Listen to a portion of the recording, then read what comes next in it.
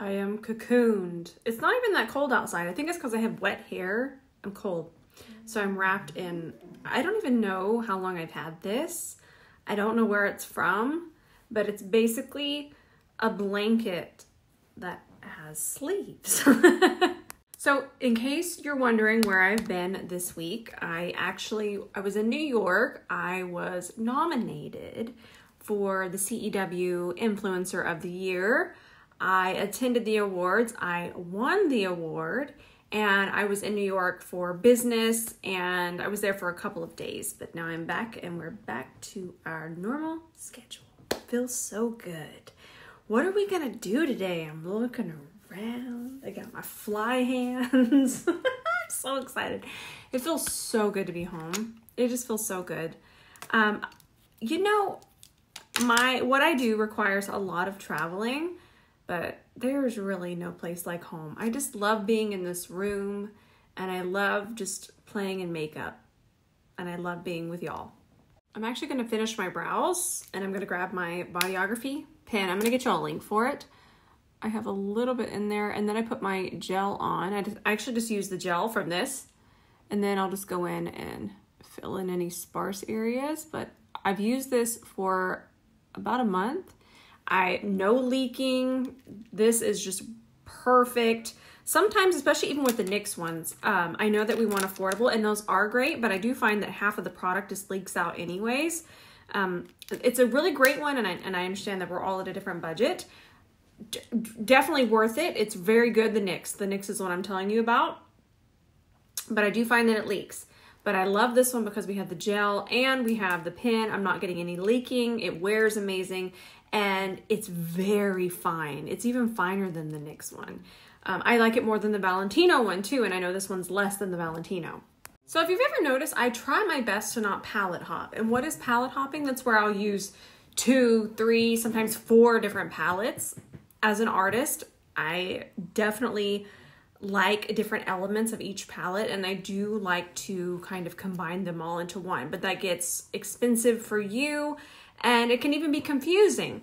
But today I am going to use two palettes and I'm going to use probably one of my favorite palettes of all time is this one from Isamaya. It is magnificent. The diversity of all, so they're all shimmers. A lot of them are flips. This is a very spicy priced palette, absolutely. But I love how we're not getting colors in here that we normally already have. Another uh, matte neutral brown. I love how this is just a very expressive palette. So for me, I would reach for this more than I would any of the other sparkly, very spicy price brands. You can think of a lot of them, I'm sure. Um, I love these more than say a Pat McGrath in that price range. I just love them. I, I just think that they are very well thought out.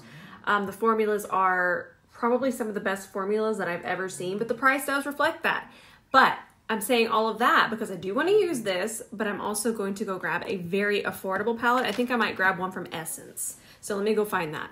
Okay, so I found these from Catrice. I love these, by the way. This is the one that I use the most. It's called um, the Pure Nude eyeshadow palette from Catrice. I just want to make sure it was nude. There's like Mocha, Rose, other ones.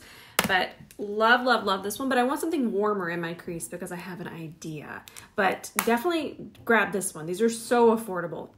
And I know I'm chatting a lot, but I've missed y'all and I have a lot of information. By the way, Remember the Pillow Talk Dreams look I did, which I'll put that on YouTube. I did it the other day, but these very rose tones. If you want something similar to Charlotte Tilbury Pillow Talk eyeshadows, this is gonna be them. And this is the, the electric rose. This is gonna be so similar in tone to that palette. Sorry, I, I mentioned it wrong. I'm If I'm not mistaken, Essence and Catrice are um, sister brands, so I always get them confused because they're very much in the same price range. But I'm about to grab the palette right now, so we'll just fix that. So I wanted to use the shade Mocha, and I promise it's typed out correctly here. I'm not zoning out. Um, and I wanted to use really, really warm tones. This color here is calling to me, and then this warm. So let's keep the crease really, really nice and warm. I'm gonna grab, I wanna grab, I wanna use my travel set today. So we'll just grab a little bit of this shade on the side of the brush. And most of the brushes I'm to use are the travel set, if not all. But let's go ahead and press that, warm up our socket. Look at the pigment on these. They're so good. They're so, so, so good and so affordable. And we'll just keep pressing that on. We're gonna grab some more, just grab more of that same shade, just keep building it up. And I cannot stress enough how we do not, I was saying we do not have to worry about the lid space. I feel that that is one of the things that just throws us all off. The moment we see that, we're like, whoa, this is horrible. I picked up more of that same shade. This is horrible. I need to wipe this off. I don't know where to go from here, but this is nothing. This is just the beginning of the art. I like that. We're just at the beginning of our art. That's what I'll start saying. Don't panic. You're at the beginning of your art. Terrifying, right? Mm-hmm. I know. I'm with y'all. It took me so long to get past this stage. I would have wiped this off and said, give me my MAC Soft Brown eyeshadow and all that glitters because it was not as scary during the process. But you know what? We have learned here how to trust the process. Now let's take, notice I wiped my brush off on Sheila. Let's take a, the tiniest amount of this shade. Or was it that shade? Which one is it? No, no, no, we're right. Okay, I get turned around. And I'm going to take that and I'm just going to lightly transition this. I'm going to do this in very small sections so we don't lose control. Um, I'm going to pick up the tiniest amount of eyeshadow. And you might think, wow, this is going to take forever.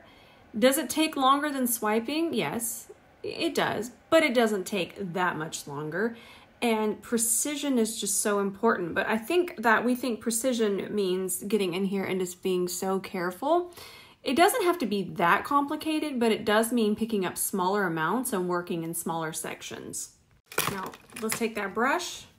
Y'all, we've only used one brush. Isn't that wild? Give it a nice wipe on Sheila. Look how dirty Sheila is getting. Sheila, Sheila's ready for a bath. And now let's grab this shade and small, small amount, start on the brow bone. And then what I do with these types of shades is I kind of just go over everything and it just blurs and melts everything together. But it's very important that we don't pick up a lot on the brush because then we can just kind of muddy the colors, turn it a little too cool, maybe even a little ashy. But in very small amounts, shades like this, just ever so lightly applied, they blur and they blend. So I want to do a more rounded eye today, and I have some micellar water here on our brush. This is also from the travel set, and I'm just going to clean up. But what I want you to notice, I'm going to wipe on Sheila as I do this. What I want you to notice is I'm not going to do a kind of cat eye shape. I want to do a little bit more of a rounded shape. But I do want to clean up our lid space for our next base. But don't worry about taking it over that way. Nice. So for the front of the eye, I want to use a translucent see-through base. I'm going to use this one that I use all the time from Milk. And this is, I'm going to do this color towards the front. This is going to be so much fun. Okay, doesn't have to be perfect, just needs to be even. Even, even, even, even. Okay, I, I can just use my eyeshadow brush to even it out. Well, you know, I could if it hadn't ran away. Give it a nice wipe on Sheila. Just tap it to even it out. Perfect, perfect. This might be too much over here on this eye, by the way. In fact, let's let's go ahead and give it just one little wipe on Sheila. And there you go. Too much and we're gonna have creasing. And then for where I'm gonna place the blue shadow, I wanna do black base. We're gonna use a tiny amount though. I think I can still use this brush. Yep, I absolutely can, okay. Oh my goodness, party, time of my life, 10 out of 10 would recommend. By the way, this base is just so affordable and it could be scary, but it's not a huge investment and it's going to change up the shadows that you already have and bring a different dimension to them. So if this was $40, I would say absolutely not, but I believe it's 8 or $9. It maybe even less. So it's a really fun way to switch things up and it's very affordable. Okay, this is important. I'm not gonna have y'all use black base, have it crease, cry, scream, and blame me. So I'm taking the smallest amount of black eyeshadow, any black eyeshadow, and I did wipe my brush off so there's no more tacky base on here. And I'm all I'm doing is I'm setting where it's creeped into my crease. Just pressing on top of that. Because this is a tacky base, it's going to need to be set. I've already done it over here and you can see how nice and blurred that is. Just all we're doing is we're just setting where it might have creeped into the crease. Just ever so lightly setting. So I am going to switch over to a C30. The way that this picks up and places shimmers is just, it's like no other. It's your fingertip, but better. You get precision and it just, it just picks up that color. I'm definitely going to load up one side of the brush and then I'm just going to go in here and start to place it. Oh my gosh, these are so pretty. Let's whisper. But I think I want to stop right there because I love the idea of that blue going from this depth to this, what I have going on on my cheek with no base. And I just think that's gonna be so cool. Okay, isn't this cool? Okay, let me show you. Makeup is so much fun. You just get to paint your face every day. All right, we're picking up quite a bit of this shade. We're gonna go ahead and place it in the center and then we're gonna start to bring it into the black base. And then I do wanna melt it into the copper as well. But you can see that this is more transparent where we don't have that base. See that? Isn't that so cool? See the same the same effect here, but where we have the black base, it's much more intense and now it has depth behind it. Now I'm just gonna take our original eyeshadow brush and just kind of tap it and diffuse it a little bit. Isn't this so pretty? I'm telling y'all, there's pigments and then there's these pigments. Special. Look at how cool this is. You can see through it here, but then it's perfectly smoked and then you have the depth. Love it. Okay, let's let's keep it trucking here. I'm trying to decide what color liner we want to do. So let's grab this Stila liner. I swatched it right here. You're gonna see that it has just, it's very similar in tone. Um, it's a little bit more of a turquoise blue, but on the waterline it's gonna tie in perfectly. Also wanna show you that it does have a little bit more black for base in it. But if you've never tried these Stila metal liners, you're missing out. They're spicy priced, I do know that. But the way that the formula lasts, how easily it glides on, the pigment is a 10 out of 10 and I do recommend. I'll use a Stila liner today. This is the Duo liner. I'm using the tiny little side. I'm using the shade Black. I don't want to do just a full-on wing because I do want to keep the eye very round, which again, we're going to have to wait for a second, but I do want to really darken up the lash line. And I love how tiny this little this little side is, so we can get really good in there and work it into the lash line. Minus the cat hair that's on here now. But yours won't come with cat hair.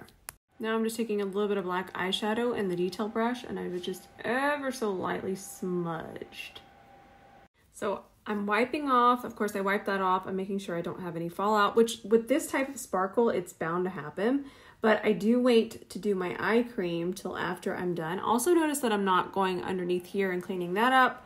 I still want it to be very rounded. We'll round it out some more in a second, but I'm just using my makeup eraser. And also I do not recommend the white makeup eraser because no matter what you do, it stays stained. I even tried bleaching it. I've done everything. It just stains. Um, it is clean, but it's gonna look dirty, and then you're you're gonna think it's dirty and that it's gross, and it's not. Get the pink one. I like the pink one. All right, I'm gonna go grab a little bite to eat with Ben in the kitchen, and I'll be right back. Okay, I'm back. So remember we wiped off all of that fallout? My under eyes are a little dry now. I'm gonna grab my Elemis eye cream. I got a new one. Finally. Oh, oh gosh. Douglas is going through it down there. There we go. Did you figure it? Oh, no, it's still not figured out. Then I'm gonna use my Anisa Beauty spot treatment brush. I think this one's discontinued, but I don't think that the eye treatment one is, and I love that one just as much. It's just a little bit bigger than this one.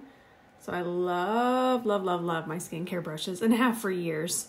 And then I just did one pump of my Clarins Double Serum. And then I'm just working that in. Press that in. I love this stuff. But I'm not going to put it on my forehead. It's already on my forehead. It's just where I wiped away any of that um, fallout. So while that's sinking in and really drying down on the skin, it's really important. Putting foundation on this right now would just be chaos. Um, I'm going to take my time and pick the glue off of these lashes, and I just do this with my fingernails. I do have a video on how to actually deep clean them. That's on Reels. Um, you would just soak them in alcohol, rubbing alcohol, but try go find the video. But I've only worn these two or three times, so I can just pick that off really quickly. So makeup is just like cooking. It's really about timing. Um, so while that skincare is sinking in, the time that it takes me to get these lashes ready, well, pick off the glue, let the glue, the fresh glue I'm putting on dry down, apply, pinch back on, that's going to be the perfect amount of time for this skincare to dry down so we can put foundation on top. So we're putting on our Lybre lashes. Oh, I love these. I'm to order more of these. I ordered all of them. I love them so much. This is style number five. Let me double check that.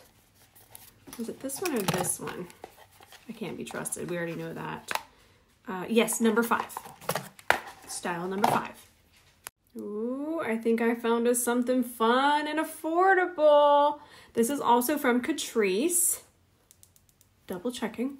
I always get the two confused. I'm so sorry, but y'all always help me. Um, let's watch this blend out. Also, I'm doing this. I lost the lid. I don't know where it went. We'll come back to that. We're going to parking a lot that. Um, I like to do a bronzer sometimes before. Now, you'll notice I switch it up quite a bit. But if you are just starting out, doing your bronzer before, and this is a, still a very warm shade, and this is considered a bronzer, doing it before concealer allows you to have more control over the shape later. Say it does gravitate way too high or way too far under the eye. Um, say this had been crazy wet or a very pigmented formula and it migrated a whole lot. Doing this step before concealer allows us to be able to go overboard and kind of bring it back. This blended out beautifully. I love the color. Okay, let's get ready for our foundation. I'm actually going to post an ad for Cover FX tonight about the foundation. I already posted it on TikTok. But this is the foundation that I've been wearing, and this is the one that I wore to the award ceremony. Y'all, if you've been with me a while, you remember how much I loved it. And you want, you want to know why I stopped talking about it? Because you couldn't find it, because I thought it was being discontinued. I'm, I'm just excited for y'all to try it. Once you try it, you'll be like, Oh. oh my goodness, it's so good. It's so, so, so good. Okay, so I'm using M3. And let's just go ahead and pop that on. The match, the coverage, the way it feels, obviously the way that it wears. I don't even know how long I had it on on Tuesday, the day of the awards. Um, it looked perfect all day long. And we'll apply this with our C42. Look at this match. Ah, it's so good. Okay, I blended out this side and I just feel it, it's just the perfect shade. There are much, much, much deeper shades for all skin tones. This one just feels like a natural peachy glow on my skin tone. And I, like I mentioned, I feel it just goes in there and it fills in gaps. Even if there's not a gap, it's somehow filling and blurring gaps. All right, love. Okay, listen. I was seeing this formula all over. I'm just to actually toss this. I'm not going to use the sponge part. Um, anyways, I saw this all over TikTok. And, you know, I, I was skeptical. Okay, I was. But this formula is quite charming. The way that it melts into makeup and it has a lot of it has a lot of pigment to it. Okay, that doesn't mean that it's rare beauty chaos. What that means is that it's not going to create gaps, it kind of fills in gaps. It's a wonderful formula. Wonderful, wonderful. I love it so much. And I've been using this one a whole lot. I do have all of them. P. Louise did send them all to me. Um, and I need to branch out from this shade, but I've really been enjoying this particular shade. I just feel like it adds a beautiful glow to my skin. And I love everything about it. It's a 10 out of a 10, would recommend, and I do recommend. Okay, now, we're going to use our Haus Labs. The shade I've been reaching for is 06 Fair Rosy. My summer tan has eluded me. It is gone now. And this shade has been perfect underneath my eye. This would have been much too light before, but I'm definitely almost at my lightest, my seasonal lightest. So we're good. Now, again, with the rounded shape, and then we'll complete it once I get everything blended out here. So we're taking advantage of that wet concealer and I just grabbed this shade and we're just pressing that into the lash line. And then I'm going to connect it over here. I'm going to grab some more of it. Sorry, I have to look at you all surprised. And then once we get it set, I'll kind of melt everything over here a little bit more. I thought this was so helpful. I'm gonna make myself small. Uh, one of my friends here, they just DM me and said that they understand exactly. I want you to read this. Again, it's not a bad product. I'm never like, oh, it's so bad. It's not what I'm saying. I'm just saying sometimes things are easier for people start in different parts of their makeup journey. And this P. Louise one, I, this is such a great example of how it just fills in gaps because sometimes even pigments and foundations, even the best foundation, um, if we're not understanding the exact perfect technique, sometimes we can have gaps. But this is just such a great example. Okay, read that.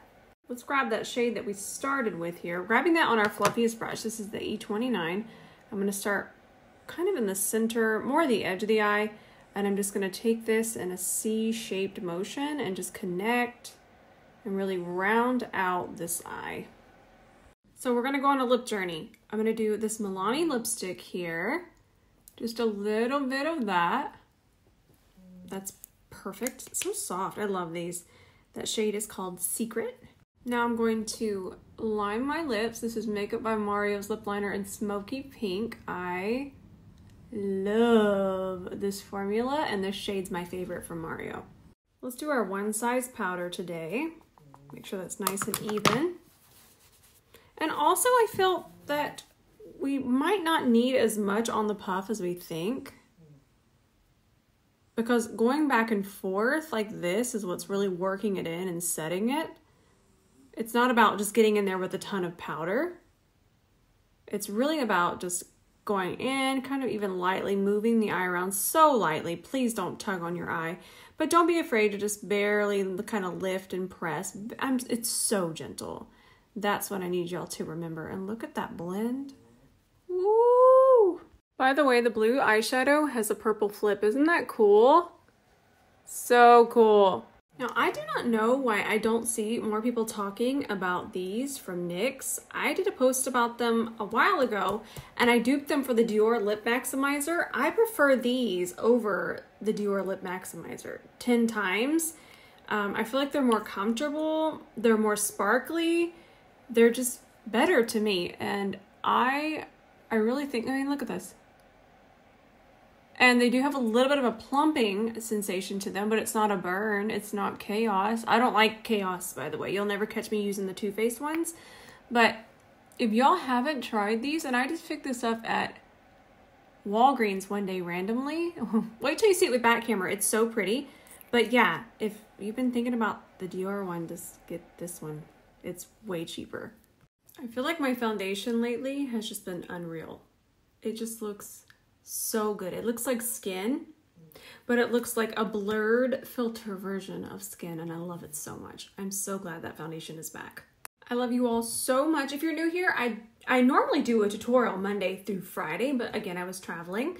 Um, on Saturday and Sunday, I film other content. I don't technically take the day off because I'm still filming, but I take the day off from stories. Um, but Monday through Friday next week, I'm gonna be here. We're gonna be tutorial to tutorialing. We're gonna try a bunch of new stuff. We're gonna have so much fun. But I love you all so much. I love you with all of my heart. It feels so good to be home and just to be back to my tutorials in my room with all of you. Um, again, I'm gonna post an ad tonight for Cover FX, uh, but it's it's my favorite. It's it's just so good. I'm just so excited for y'all to experience it. So I love you, and I will see you in the comments tonight.